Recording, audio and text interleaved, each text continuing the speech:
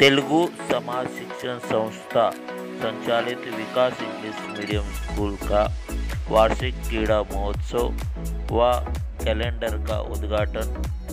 Bharatiya Janata party Bhiwandi शहर जिला अध्यक्ष संतोष शेट्टी व नगर सेवक सुमित पाटिल के शुभ हाथों से किया गया। इस अवसर पर तेलुगु समाज शिक्षण संस्था के पदाधिकारी, शिक्षक वृंद उपस्थित थे। समाज शिक्षण संस्था एक पद्मानगर के विद्यार्थियों को अच्छा शिक्षा देने का काम करती है, लेकिन यहाँ पे मैं देख रहा हूँ, जब से पद्मानगर में मैं काम कर रहा हूँ पेना गाँव हो, वहाँ भी एक बड़ी स्कूल है। निष्काम जी ने मुझे जानकारी दी कि पहले स्कूल कनेरी में इससे बड़ी स्कूल थी। लेकिन विद्यार्थियों की कमतरता के कारण वो स्कूल आज नहीं चल पा रहे। लेकिन पद्मानगर के गरीब लोगों को शिक्षा देने का काम अगर कोई करती है तो वो तेलुगु समाज शिक्षण संस्था करेगी तो मुझे गर्व है कि मेरे वार्ड के जो बच्चे हैं, जो पढ़ना चाहते हैं अलग अलग फैकल्टी में अलग अलग खेलों में तो आगे बढ़ना चाहते हैं। निष्काम जी ने बताया कि आज हैदराबाद से इनके बच्चे, गोल्ड मेडल, सिल्वर और ब्रॉन्ज, ऐसे अलग अलग क्षेत्रों, उन्होंने अच्छी कारीगिरी और अच्छी कामगिरी वहाँ पे हैदराबाद में करके वो निकल निकल गए वहाँ से। तो मुझे लगता है कि शिक्षा के साथ में खेल भी बहुत ज़रूरी है, क्योंकि एक माइंड सेट होता है बच्चों का। और टीचर लोगों का भी, क्या शिक्षा, शिक्षण लेते हुए अलग अलग एक्टिविटीज़ अलग अलग प्रोग्राम अलग अलग खेल अगर स्कूल में हो तो उनका मन स्कूल में लगा रहता है और हर साल, हर स्कूल में एनुअल फ़ंक्शन होता है, लेकिन ये स्कूल में जो एनुअल फ़ंक्शन होता है, हमेशा हमें यहाँ पे इनवाइट किया जाता है, जैसे सत्योज जी है, मैं है हम इस वार्ड के ही नगर सेवक है। इस संस्था के साथ में कंधे से कंधा मिला के हमेशा हम दोनों खड़े रहते हैं, क्योंकि इस संस्था के सभी मेंबर सभी मेंबर एक घरोली, घरोलू घरोलू संबंध इस संस्था के साथ हमारा जुड़ा है।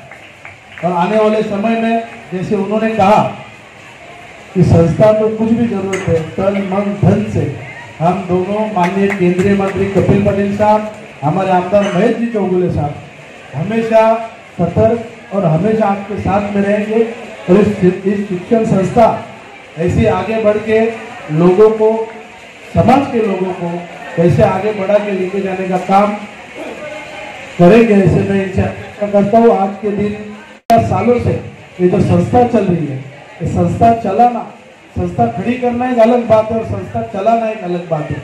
तो इनके पिताजी लोग ये संस्था शुरुआत की अभी बच्चों ने शुरुआत की कि कुछ अलग रास्ते में, कुछ अच्छे रास्ते में इस संस्था को लेके जाए और वो, मुझे लगता है सक्सेस हुए हैं इसमें। और कहीं ना कहीं इनके पिताजी का आशीर्वाद था, इसके लिए संस्था आगे बढ़ती जा रही है। और मुझे लगता है कि आने वाले समय में इनके जो भी पेरेंट्स है, उनका आशीर्वाद इस संस्था के ऊपर हमेशा रहेगा। और मुझे लगता है आने वाले समय में यह संस्था भिवंडी में अच्छी ऊंचाई प्राप्त करेगी और बच्चों को अच्छा शिक्षण देगी और अच्छा स्पोर्ट्स में भी बच्चे आगे बढ़ेंगे। ऐसी मैं मेरे तरफ़ से शुभेच्छा देता हूँ। मेरे जब मैं 96 में चुन के आया था, जब हमें कुछ पता नहीं था क्या स्कूल चलता है, कि खुद स्कूल का कोई ठिकाना नहीं था। तो उस टाइम पीटर स्कूल करके तेलुगु समाज से मैं चुन के आता था, इसलिए तेलुगु समाज का एक आशीर्वाद था बचपन से। और मुझे सिर्फ़ तेलुगु स्कूल के बारे में ज़्यादा जानकारी जब मिली कि पीटर स्कूल एक ऐसा स्कूल था कि गरीब कोई स्कूल नहीं था भिवंडी में। हमारे पावरलूप के बच्चे मुकादम के बच्चे, मेहता के बच्चे को पढ़ाई के लिए इंग्लिश मीडियम में बहुत जाना बहुत मुश्किल था। उस टाइम मैं पीटर स्कूल में देखा हूँ, वहाँ के जो तो संस्थापक थे लक्ष्मीनारायण भाई और जितना अच्छा एक इंसान था, मैं उनको बहुत करीब से देखा हूँ। क्या उन्होंने हिम्मत किया उनके साथ में भैरी हो गए अब्बास दाशी हो गए, इन लोग की हिम्मत की वजह से आज निष्कम जी, आप भूमि खन्ना इनको इतना बड़ा संस्थान दृष्टिकोण है कि आप लोग के लिए संस्था अच्छा कराने का मौका मिला, उसको आप बहुत अच्छे चला रहे तो पीटा स्कूल में देखा हूँ, कैसे स्कूल बच्चे पढ़ाया जाता था, वहाँ के उस टाइम के सब चेयरमैन को देखा हूँ, और आज बहुत अच्छा लग रहा है कि पचास साल में आने के बाद बहुत स्कूल में कुछ नया दिखता नहीं। लेकिन यहाँ हमें बहुत नया देखने में जब से यहाँ बैठा हूँ मैं मैं यहाँ के बच्चों का ड्रेस देख रहा हूँ, यहाँ के टीचर्स को देख रहा हूँ, और जो कार्यक्रम दिखा है सुबह आने से पहले योगा का, और उसमें जितने बच्चे जो काम कर रहे थे, उसमें से जितने बच्चे पढ़ रहे थे कितने दो तीन बच्चे तो दिखा रहे थे कि मैं देखता हूँ कि शाम को जाके उधर भाजी पाले गाड़ी लगाते। इसके अलावा भी इतना तक करना मतलब ये बच्चे जब यहाँ पे करते हैं तो ऐसा लगता है कि बहुत सही काम हो रहा है। बड़े बड़े स्कूल में तो सब कुछ मिलता है। कि उनको खाली दो टाइम का टिफ़िन लेके आते सब कुछ साधन रहता है टीचर रहता है स्पोर्ट्स पढ़ाने के लिए अलग टीचर रहते हैं। लेकिन यहाँ पे एक दो तो बच्चे को मैं ऐसे देखा हूँ, जो शाम को भाजी गाड़ी लगाते हैं, और यहाँ भी किए। तो सही में ये बहुत ज़रूरी है। ये आप लोग को तो लगता है, लेकिन वो वो बच्चों में ताकत मिलती है। एक अलग एनर्जी मिलती है। ये बहुत ज़रूरी है। और स्कूल में तो हर समय जब भी हमें कुछ भी हुक्म दिए, हमारे बड़ी शेर हो हमारे फामू साहब के पहले सुंदर नाना थे, जब भी राजे, हमारे कृष्णा नाना थे, जब भी कुछ भी बोले, हम लोग तो किए। अभी तो और करना पड़ेगा कि अभी देखा तलवार द्वार आप लोग के पास। अभी कोर्ट में देखा आप लोग के तलवार है, डंडा है। तो अभी मांगने के बाद तुम्हें परमिशन जहाँ देना पड़ेगा। तो ये स्कूल हमारे, हमसे जुड़ा हुआ है। जैसे राजस्थान में आने के बाद पहली स्कूल में कोई कार्यक्रम मदद किया। पहली स्कूल से जो मालूम लिया, वो पीटीआई स्कूल। उसके बाद अनेक स्कूल आए, कॉलेज आए, सब जगह में गया।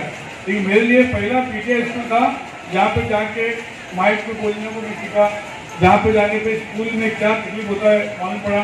पीटीआई स्कूल की वजह से ही मैं महापालिका के जो स्कूल के जो उस टाइम के चेयरमैन उस टाइम के जो प्रिंसिपल थे, इनकी वजह से महापालिका के स्कूल में कैसे टेबल में बच्चे बैठे, ये सीखने मिला। क्योंकि मुझे भी पीटीआई स्कूल पचास साल पहले हुआ है, लेकिन मैं जहाँ तक रास्ते में आने के बाद पच्चीस तीस पच्चीस, सत्ताईस साल हो गए तो मेरा भी उसका बहुत लगाव है।